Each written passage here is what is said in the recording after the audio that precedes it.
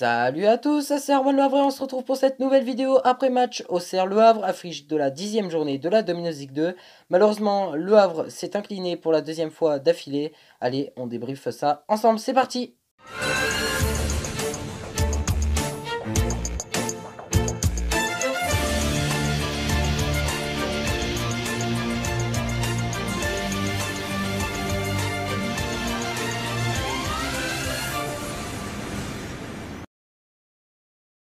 Et c'est parti pour le résumé de la rencontre. Donc, coup d'envoi à 14h45 devant les 7000 spectateurs du stade Abbé Deschamps, dont une centaine de Havrais qui ont fait le déplacement. Coup d'envoi de la rencontre, tout se passe bien pour les Havrais, ça joue la possession, donc euh, jusqu'à là, tout se passe bien. Jusqu'au corner euh, tiré pour l'AJ Auxerre, et c'est un corner qui a été euh, super bien tiré, j'ai envie de dire, et ça atterrit sur la tête de Yatara. Ça atterrit au fond des filets, 1-0 à la 14e minute pour la JOCR. Et puis euh, les Havrais ben, ont eu de mal, on va dire, un petit peu à, réagir après ce but, car 4 euh, minutes après, la 18e minute, une erreur encore de la défense havraise qui, qui permet de marquer le deuxième but pour la JOCR 2-0. C'est le score à la mi-temps, mais ça restera aussi le score final de cette rencontre. Voilà, rien à dire sur cette seconde période parce que tout simplement euh, le Havre n'aura pas été au rendez-vous. Donc victoire 2-0 de la JOCR face au Havre.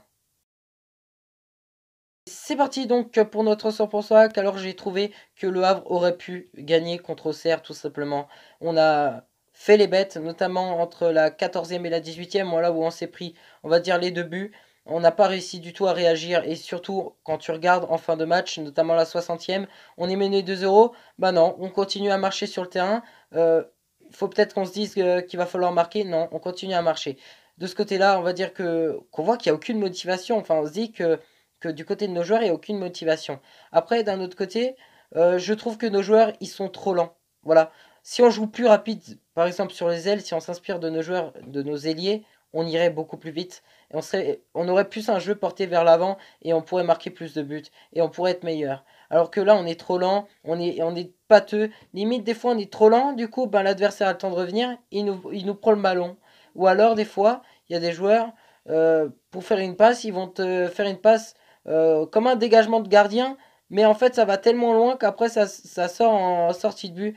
Euh, donc ça, ça a été valable, on va dire, pour tous les matchs entre la trêve internationale du mois de septembre et euh, celle du mois d'octobre, où il y a eu 4 matchs, 2 euh, nuls et 2 défaites et 0 victoire. Ça a été une catastrophe assurée. Alors c'est bon, il y a la trêve internationale, je vais pas trop m'énerver euh, sur ce match contre la JOCR, même si c'est un petit peu le cas.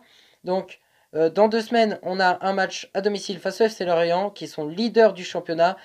J'espère qu'on va changer l'image de notre équipe et qu'on retrouvera, on va dire, l'odeur de la victoire. Je l'espère.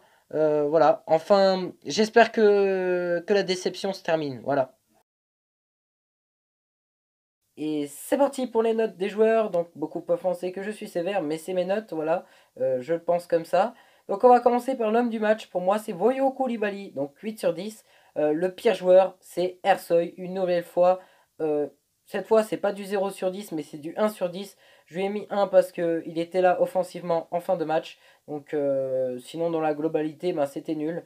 Euh, Barnabas Becce 4 sur 10, Samba Camara 3 sur 10, Mathieu Gorgelin 7 sur 10, euh, Dina Mbimbe, on voit qu'il a du potentiel, mais il faut qu'il fasse mieux, 4 sur 10, Jean-Pascal Fontaine 3 sur 10, Jean-Pascal, voilà, c'est une grande déception en ce début de saison, il tire mal les corners, il tire mal les coups francs, je suis déçu. Pape 3 sur 10, franchement, honnêtement, j'ai trouvé qu'il fait un mauvais match. Maintenant, il avait des occasions. Il a notamment fait une super frappe qui a atterri euh, sur, sur le poteau, voilà, qui aurait pu finir euh, au fond. Et puis, euh, il a fait un moment un très beau geste technique. Donc, voilà, Pape Gay 3 sur 10. J'attends mieux, mais voilà, il a fait quand même des choses, on va dire, un petit peu stylées. Alexandre Bonnet 4 sur 10. Jamal Thierry 4 sur 10. Tino Kadewere 4 sur 10. Voilà, Tino qui, a pris la naissance de son fils. Donc euh, voilà, il était là qu'à partir de, midi, voilà, il a rejoint le groupe. Mais sinon, il a fait un match plutôt moyen. Mais je pense pas que c'est à cause des attaquants, tout simplement, euh, cette note de 4 sur 10. Voilà, parce qu'en fait, c'était au milieu de terrain de leur faire la passe et il n'y avait pas tellement de, milieu de terrain durant cette rencontre, donc je leur, leur en veux pas. Les trois qui sont rentrés maintenant, Emenetzer, Asufia 1 sur 10, on ne l'a pas vu. Euh, la même note pour Romain Basque et Hervé Basile 5 sur 10. Voilà, je trouve qu'Hervé il a fait une bonne rentrée. Euh, il n'a pas eu l'opportunité de frapper, ce qui a été bien sûr le cas de, de nombreux joueurs durant cette rencontre.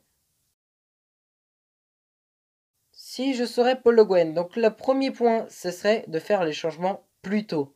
Pourquoi? Parce que le dernier joueur qui rentre, il rentre à la 85e minute. Donc il n'a pas forcément le temps de s'exprimer.